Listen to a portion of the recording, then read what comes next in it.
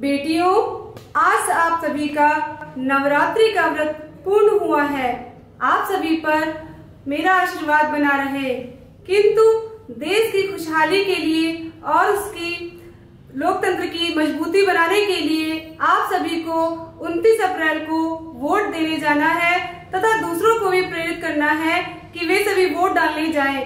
तभी हमारा देश खुशहाल बन सकेगा तथा हमारा लोकतंत्र मज़बूत बन सकेगा